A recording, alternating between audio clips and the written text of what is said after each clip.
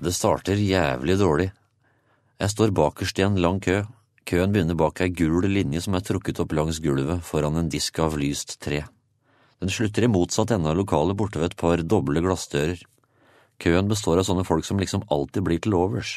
Negere, pakkiser, kvisete ungdomsforbrytere og enslige mødre med dårlig permanente og ulydige unger. Samt meg. Men ærlig talt, jeg er egentlig bare på besøk, så jeg tar det helt kulig. Jeg studerer alle de tullinga som står oppstilt langs veggene mens de speider etter ledige jobber på oppslagstavlene. Folka skuler olmt på hverandre, som om det var snakk om direktørstillinger med fallskjerm og fri firmabil. Fy faen, jeg blir matt av å tenke på alle de jobbene jeg ikke vil ha. Hvorfor er folk så jævla redde for litt ekstra fritid, egentlig? Noen har til og med forbudt det. Faktum er at den eneste muligheten arbeidsklassen har til å leve som rikfolk, er å melde seg arbeidsledig. Trygd er betalt fritid, det er bare å finne fram golfkøllene. Det går en halvtime, og så blir det min tur. Jeg tar steget over den gule linja. Bak disken sitter ei dame i 40-åra med kort piggsveis, enorme runde briller og en del godene-button fra Sosialistisk Venstreparti plassert over det høyre brystet. Smilet hennes aktiviserer alle de latente rynkene, lik rennende vann i et uttørka kanalsystem. Hva kan jeg hjelpe deg med, da? Penger, svarer jeg. Jeg har ikke fått penger for den siste toukersperioden. Smilet hennes visner. Dama snur seg mot PC-en og klimprer litt på tastaturet med fingrene. Hun studerer skjermen et kort øyeblikk, så gir hun meg et bekymra blikk over brillekanten. Du har ikke fylt ut rubrikken for den siste søndagen i perioden. Hva så? Jeg vil vel vite om du har arbeidet noe deltid siden sist.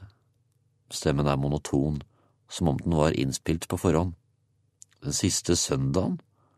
Som om jeg liksom skulle ha skaffa meg deltidsjobb som prest, hva? Dama lukker øya. Hun sukker. Pengene utbetales av en maskin, den forstår seg ikke på sånt. Jeg blir tørr i munnen og kjenner at jeg er i ferd med å tilte. Jeg drar ut fôret av lommene mine mens jeg forklarer henne at jeg har kun én inntektskilde, henne. Jeg kommer ikke hit for moro skyld. Øya hennes virker dobbelt så store bak brilleglassene. Dama blir stram rundt munnen. Hun sier at dersom det er så viktig, burde jeg da i det minste kunne fylle ut alle rubrikkene i et simpelt skjema annenhver uke. Jeg svarer ingenting. Jeg skjønner at det ikke er hennes feil. Maskiner er utilregnelige i gjerningsøyeblikket. De kan ikke straffes. Jeg gir opp og går ut. August. Sola virker oppblåst og utlevd. Trærne bøyer seg tungt under vekta av sine egne blader. Et kaldt vindpust gir meg gåsehud på armene. Høsten er en årstid som begynner med et sånt vindpust. Fra nå av kan det bare gå én vei. Gutta står og venter på den andre sida av Hjelms gate. Thomas peker på meg.